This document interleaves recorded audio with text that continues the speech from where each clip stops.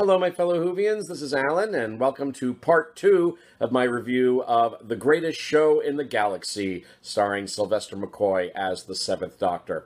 Now, uh, I wrapped up part one of my review, uh, giving my props to as many cast members in the story as I could, because I think I think the cast members all give really good performance in this particular Doctor Who story.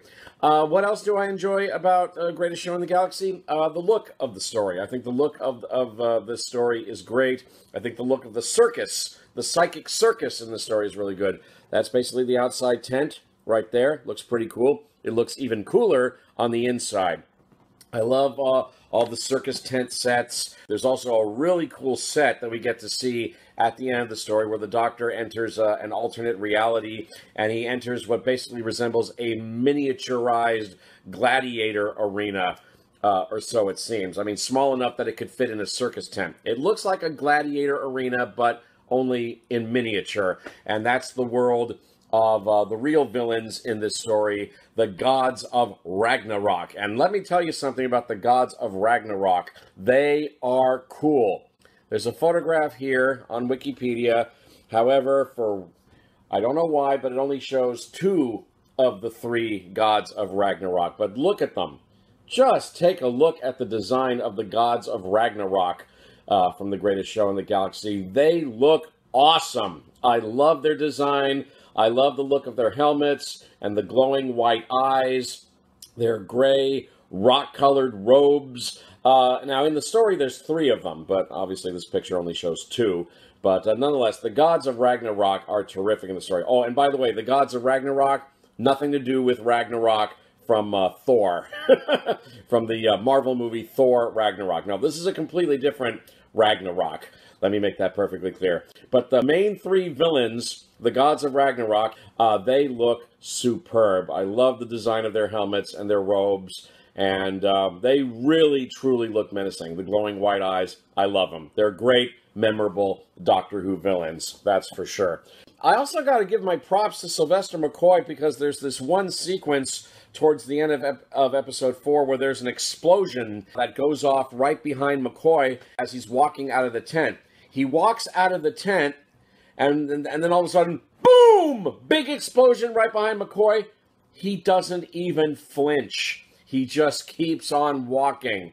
Wow, that's amazing. I got to give it up to Sylvester McCoy. That's another one of the reasons why I think his performance in this story is so good. Besides a great acting performance, the fact that he was able to walk out of that tent and, you know, that big, huge mother explosion goes boom right behind him and he doesn't even flinch. He doesn't go, ah! he just keeps on walking when that sucker goes off right behind him.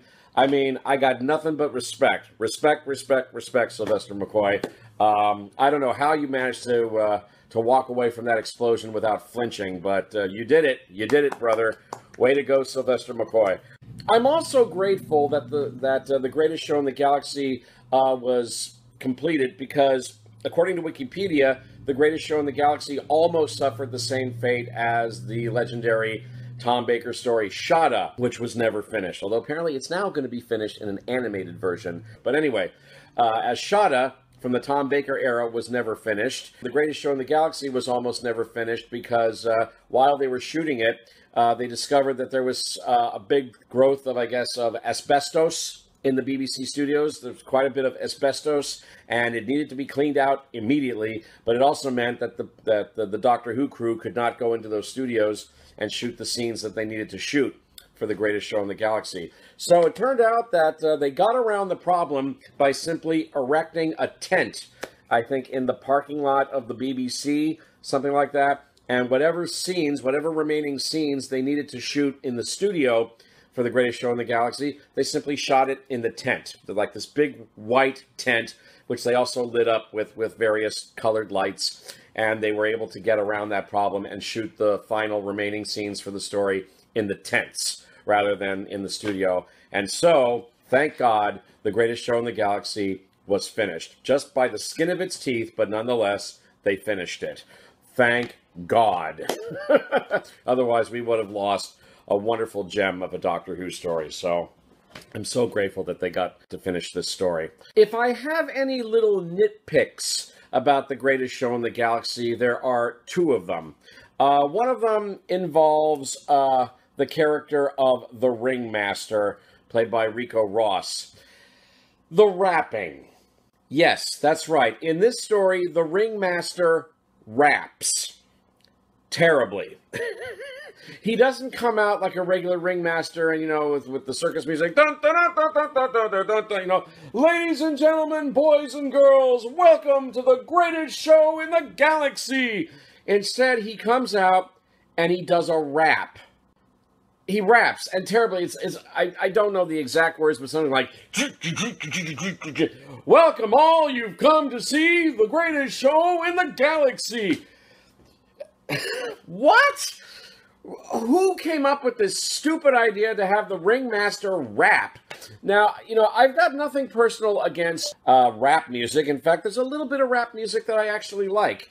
But I'm just saying that the ringmaster's rapping in this story is just atrocious. I don't understand for the life of me why they couldn't have had the ringmaster just come out in the story and just and just talk and do his announcements like a regular ringmaster you would see at any circus. You know, ladies and gentlemen, boys and girls, blah blah blah. Why did they have to have him rap and rap terribly every single time the ringmaster did a rap?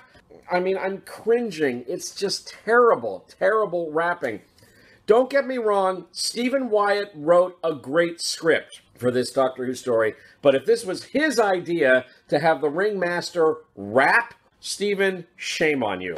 You wrote a great script. Overall, I really like your Doctor Who story very, very much. But having the ringmaster rap was a bad idea. It's one of the things that stops the greatest show in the galaxy for me of being a four star classic. Maybe, just maybe, if the ringmaster hadn't done that cringe inducing rapping, I just might have given The Greatest Show in the Galaxy the perfect four star rating. But with the rapping, it's a flawed gem. A wonderful gem, but a flawed gem. There's one other nitpick I have about the Greatest Show in the Galaxy, and that's uh, the death of one particular character in this story that really, really bummed me out, and especially because it basically amounts to uh, a suicide. Uh, what happens to this character, and I felt so bad for that for this character to see this character go out like that. Although on the other hand, it's understandable as the character is very, very tormented and wants to be freed of the suffering that the character is experiencing. But it doesn't change the fact that the character's death is very, very sad. And it is, for all intents and purposes, a suicide. And it's just really, really sad. And it's a bummer. And it also moves the story down an itty bitty notch for me in quality. Perhaps if the character had survived and the ringmaster hadn't done the rapping, then no doubt in my mind I would have given Greatest Show in the Galaxy the perfect four star rating. Other than those two little nitpicks, this is a terrific Doctor Who story. And when I look back upon Sylvester McCoy's era, this is the story of Sylvester McCoy's era that I like the most. It's not perfect. I wish I could give it four stars, four out of four. Can't quite do it because of a couple of nitpicks, but no doubt in my mind, the greatest show in the galaxy is my favorite Sylvester McCoy story from Doctor Who. And on a scale of one to four stars, I will give the greatest show in the galaxy three and a half out of four stars. Three and a half out of four stars. The greatest show in the galaxy, my favorite Sylvester McCoy story from Doctor Who. I love it. And that's my review of the greatest show in the galaxy. McCoy has only one season left as the Doctor, and the classic Doctor Who series has only one season left as well. I'm actually nearing the finish line in reviewing the classic Doctor Who series. I can't believe it. One season left, four stories left. And next time on Doctor Who Review, Sylvester McCoy returns for his third and final season as the Doctor in the story Battlefield, which I'm happy to say also features the return of the one and only Nicholas Courtney as Brigadier Lethbridge Stewart. It's kind of a sword and sorcery story, but the Brigadier is on board for the ride, and um, looking forward to watching it again. It's been a while since I've seen it. Battlefield, next time on Doctor Who Review. This is Alan. Thank you so much for watching, you guys. Don't forget to subscribe down below if you haven't already. And I'll see you next time on Doctor Who Review as I begin reviewing the final season of the classic Doctor Who series, as well as the final season for Sylvester McCoy with battlefield. See you then.